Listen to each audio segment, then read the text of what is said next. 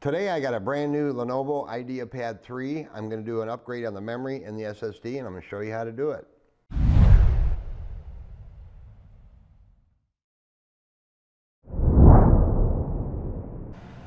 Hey guys, how's it going? Dale here. Today I got a brand new Lenovo IdeaPad 3 uh, laptop. Uh, I'm going to do a little modest upgrade on it. Right now it currently has 128 gigabyte NVMe SSD and 4 gigabytes of memory. Uh, I'm simply going to add four more gigs of memory, get it up to eight, and I'm going to go from 128 to 250 on the SSD. I'm going to put in a brand new Samsung 970 EVO Plus NVMe M.2 drives, 250 gig, really good drives, use them all the time. And I'm going to add another 4 gig stick of DDR4 memory to get it up to the 8 gigabytes. So I'm going to go ahead and shut off the laptop. This is a pretty modest little laptop, but it's got the Ryzen 3 30, uh, 3250 processor in it, the Radeon graphics, there it's off. So now I'm just gonna flip it over. I've already taken out all the screws. Um, these four screws along the front edge here are, all, are one length, they're real short. You can see I've got it laid out over here on my little trusty magnetic pad. And all the rest of the screws are all the same length. Um, so I've already removed those, didn't want to bore you with that. So just be careful when you take them out, you get the right screws back in the right holes. Like I always say, a long screw in a short hole is not good. So I'm going to use a plastic spudger tool here. And I'll have a link down below where you can buy a pack of these online pretty cheap. So I'm going to get right into this little seam here. There's a seam anywhere along the edge. I usually like to start in a corner. Get it in there good. And just start working it around. Just got to be patient when you're opening these up and always protect yourself against static discharge. Just got to be gentle around where the ports are on the side. You don't want to booger anything up on the side of the chassis there. So you can see it's already started coming up. Putting a little upward pressure on it. You can hear the popping, which is good. Just don't stick anything in there really far because you got speakers and other components you definitely don't want to damage. So now that I got it start, I got it started here. Once you get get it going, they're not too bad. And along the back, you could just pop it up, but kind of don't want to do that. You can break those little plastic studs in there. Going along the back here with my plastic. I'm using all plastic tools. There. So now we got, got that off. It comes off just like that. So now I'm going to flip it around here. And even though we're not going to be doing a whole lot in here, I am going to take a minute and disconnect my battery. I want to discharge any residual juice that might be hanging out in there. So what I'm going to do here, if you can see the battery connector here, this pulls out of the socket here, just pulls straight back this way. So I'm going to try to see if I can get my tool under it. These are a little tricky sometimes to get a hold of. I know my hands are probably in the way, guys, but kind of can't be helped. There, see I pulled it back away, put a little pressure on the wires. Gotta get it out of there. So now we're disconnected. Uh, just take your time with when you're disconnecting that. You don't want to damage those wires. I'm going to open it up really quick here, guys. And I'm going to hit the power button underneath here just a few times. Make sure it's all discharged. That should be good. All right, so here's our empty RAM slot. That's where I'm going to put my 4 gig stick of DDR4 2400. It, onboard memory is 2400, so this will be the same speed. Just going to pop that in the slot. Make sure you get a good click on the sides there. And over here is our NVMe, or our um, M.2 drive. They got the little short 2260, I believe, in here.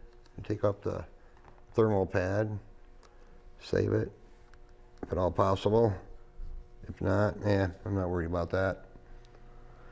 So there's one screw right here we got to take out. Hold it up so you can see it here. Got to take this screw out here and there's a little nut, a little stud underneath here. We got to move down to the 2280 position down here so we can put the, to accommodate our, our longer drive, okay? So let me get that screw out of there.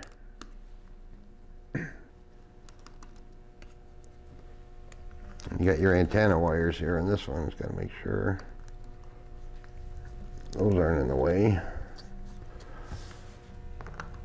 So there's that. So there's the one we're taking out, okay? And so this is a little stud here. I got my little trusty custom made tool I made to get these little guys out here. Sometimes getting it threaded back in is a pain in the butt, so bear with me. You can see that or not, but it's super tiny.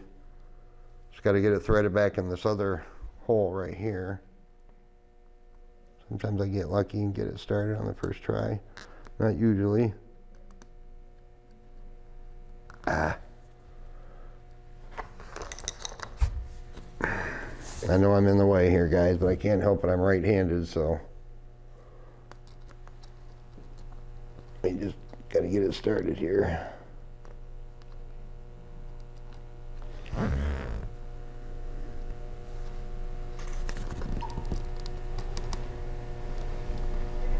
There. All right. Sorry about that. Got it started. Just tighten it down. Probably finger tight is all you really need. all right. So now I'm going to put my brand new empty drive because I am going to do a clean install on this. Now you could clone this, do it with a cloning process. There's lots of ways to do it, but in this case I'm just going to do a clean install these Lenovo's. It's pretty simple. Should have mentioned that when I started. So. Gonna mount it back in there. Now there's, here, let me take it back out. On the bottom of these, they got a copper heat plate over here on the bottom to spread out the heat. So I don't think I'm gonna use thermal pad on this because this label across the top also serves as a thermal pad. I'm not gonna worry about, this is not a gaming laptop at all. So it's gonna work just fine like that. Get my screw back in there. All right. So that was pretty quick. We got our extra four gigs of RAM. We got our new 250 gig SSD. Our wires are still okay there. Got our battery. All right, so can put the bottom back on it here. Got pretty good ventilation along the bottom here where our heat pipe and our cooling fan is. So we're gonna put the battery connector back in. These can, again, you gotta be patient. Just gotta tuck it down there and now once you plug this in, be careful. Don't be touching anything in there with your metal tools. So just make sure it goes in all the way, which it did. Now I can put this back on. We should be good. I'm going to snap this back in place, guys, but I'm not going to put all the screws in. I never do until I'm basically done, just, just in case something went wrong and you have to open it back up. You never know got a bad part or something like that. So I'm just gonna gently squeeze this back into place. There. So now let's open it up. And I'm going to use a USB drive with the Windows 10 on it. You can create the, make one of these for free. Just got to download the Microsoft Media Creation Tool. I'll have a link down below where I got a video on how to do that and make one of these. So I'm just going to pop in a USB port and it should default to that for booting. If not, we can get to the boot menu, so I'm gonna go ahead and power it back on.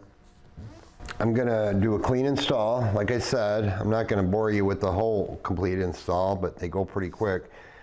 I got my bootable flash drive in there. It should, computer should default to that for, for booting because we got that brand new bare drive in there, obviously. We're just gonna let that go for a second, make sure it boots. There we got a little spinny circle thingy. So we're going to choose United States, install now.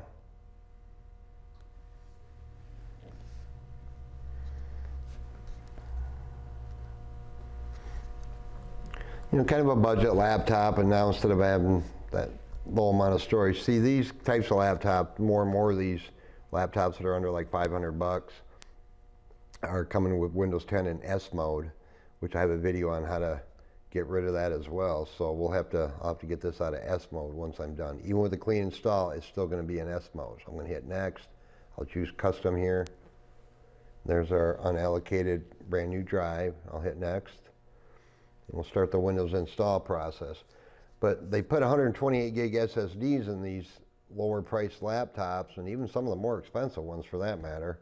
Um, they, they ship them in Windows 10 S mode because in S mode, everything you're saving basically is going to your OneDrive, which is on the cloud. And all the apps you're going to use are out of the Microsoft Store, which typically don't take up a lot of space. So by doing a little upgrade like this, giving you more space, a little extra RAM, now we can, we, we can convert it to full Windows 10 and you can use it like a normal laptop instead of a overpriced Chromebook, so to speak. So I'm going to let this part go here, guys, and I'll get back to the end and I'll get into Windows real quick, make sure all of our stuff is where it's supposed to be. So we'll be back in just a second. All right, guys, I just finished installing Windows. Didn't have any issues, went really quick, so we can get rid of our flash drive. But let's just check real quick here on our drive situation. Here's our new 256 gig drive instead of our little dinky 128.